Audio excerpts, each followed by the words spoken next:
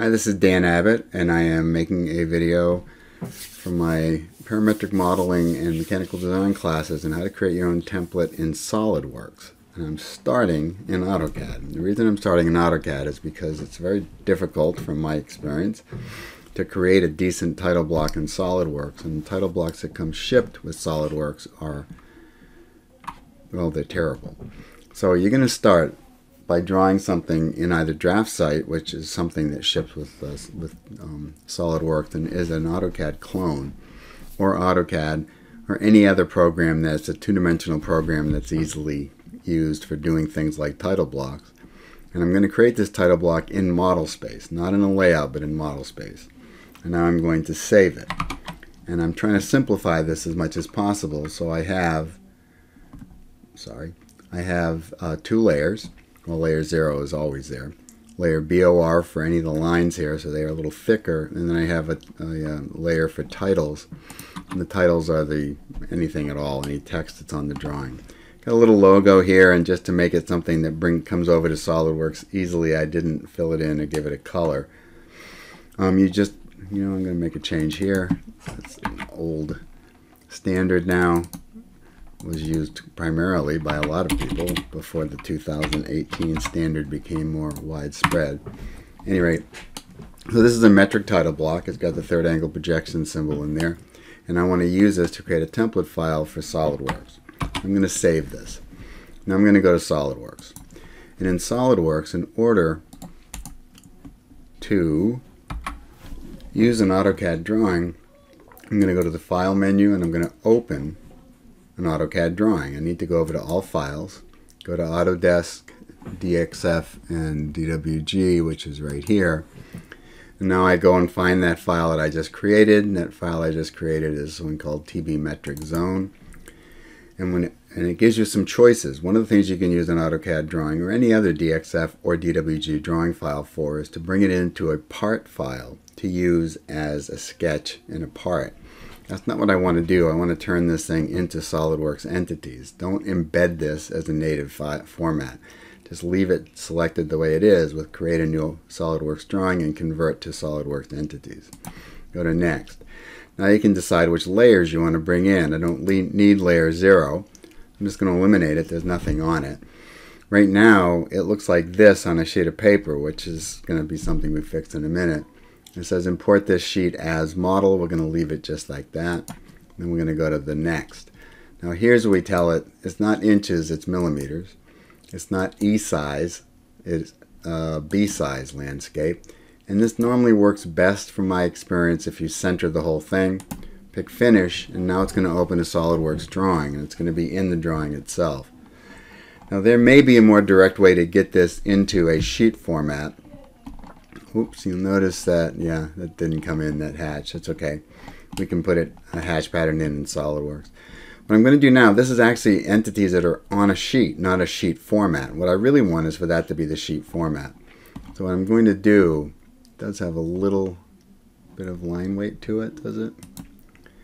Come over here and look at border, thickness,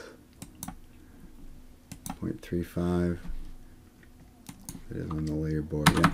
Um, what I'm going to do is copy all these. Actually, I'm going to cut all the entities here. I'm just going to put a circle around the whole thing, uh, a rectangle, and I'm going to Control X to cut it. Now I'm going to right click. I'm going to go in and do an edit sheet format, and I'm going to do a paste, and I'm just going to paste it like that. Now it always comes in off center. It probably is based somewhere, somewhat on the cursor. But now I'm going to grab everything again by putting a rectangle around it. Go up to the Move Entities under the sketch bar. Go over here to Start, and I'm just going to take the corner, and I'm just going to, you know, by eye, put it where it looks good, and it looks good to me right there. So now we have a sheet format. now we can do whatever we want to do in this thing, make some changes if you'd want. If I want to fill that in, I should be able to go to annotation and do an area fill just to see sometimes it works and sometimes it doesn't. Yeah, those are closed shapes, but again, when you bring stuff in from another program, doesn't necessarily mean it's going to work. What I could do if I really wanted to is redraw that. I'm just going to leave it. That's close enough to the school logo. Now I'm going to right click and I'm going to go back to edit sheet. So now I can't do anything with this. It's just like all the other sheet formats in SolidWorks.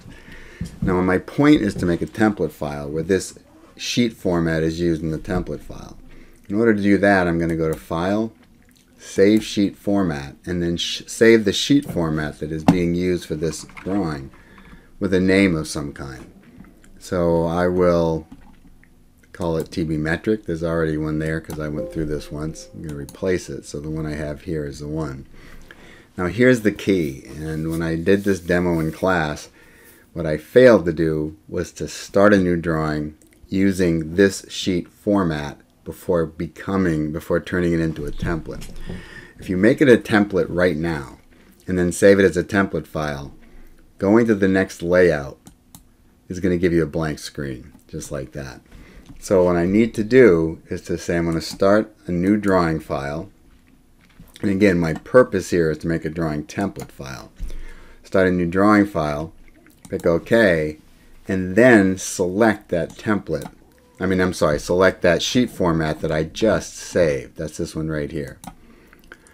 Now when I pick that, comes in, says, yeah, that's what it's going to look like. I say OK, and it comes in like that. Now, if I do it this way, every time I add a sheet, it's going to use the same sheet format. So if we just cancel out of that. If I go to the next sheet, it has a sheet format. I go to the next sheet, it has a sheet format. So this is the way you want to start a template file. Now, because it's a template file, my first sheet, what I want to do is to go up to options and I want to make a bunch of changes and those changes are going to be changes that make SolidWorks behave correctly under the ASME standard. One of the things that it doesn't do is to use ASME even though it's selected correctly. So right now if I were to put a dimension on this sheet the chances are pretty good, we'll find out, chances are pretty good that it's not going to dimension properly even though it says ANSI it's going to dimension with a sort of modified ISO standard. The layer is off. Alright, we have layers right here. Uh, layer 0 is off because I said I don't want to use it. So I'm going to make a new layer here for, for sketching on. And that new layer, um, I'll just call it OBJ because I need an object layer anyway. And I'm going to set this the uh, line weight for that. It's supposed to be a metric drawing though, isn't it? Yeah, right now it's set for inches. Let me go and make it set for millimeters. Okay, now um, I would go up to options. Under options, I would do a few things, and one of those things is to change it from ANSI to ISO and then back to ANSI. And the reason for that is this. I'm just going to put a rectangle on here. Oops, is this still off? I thought I had already changed that. Apparently, I undid what I already did. All right, let's make a new layer. OBJ. Oh, I know, because I canceled out because I got here and I didn't see 0.35 and I realized I was no longer in a metric drawing. All right, now I'm going to sketch this rectangle. And it comes up with dimensions on it. I'm going to place a dimension here, and you'll notice that dimension is sideways. That's not the ANSI standard. That's the ISO standard. So this ANSI st standard isn't being applied. It's a glitch in the last two releases of SolidWorks, and I keep waiting for them to figure out to fix it. If I go here to ISO, and I pick OK, it actually changes it because it adds more precision. If I then go back, I made another little video about this too, just this one thing. If I then go back to ANSI and come back out again, now it is the ANSI style. Now I can just delete that because I only did that just to make this work right. Now from now on, my experience, it will apply it correctly if I use this as my template file. But there are a number of other things, and I've gone over these in the classes, a number of other things you need to make changes on. If you look at dimensions, right now, um, dimensions, if you go to font, are set for a sort of odd size, 3.175. Well, that's a that's a hard conversion from an eighth of an inch, but it's kind of a ridiculously precise size in millimeters for something. And you can go down as much as down as far as 2.5 and have it be readable, which means quite readable, but it also means you can get more dimensions in sometimes. If the text height is 2.5, then the arrowhead should be 2.5. Oop, I didn't mean to come up. The arrowhead should also be 2.5. And then up here, that should be one third of the um, size of the arrowhead. So I'm going to just make that 0.8 close enough. I keep hitting escape. I'm hitting enter, I mean, because I was using AutoCAD to create that, that title block. And when I'm using AutoCAD, I start working like I'm in AutoCAD. All right, I'm going to stop that now. So now we have the ANSI modified. Now the precision here, because it's a metric drawing, it probably wouldn't need to be more than two decimal places. But then down here, under trailing zeros, we want to change that from show to remove because you don't use trailing zeros in the metric system.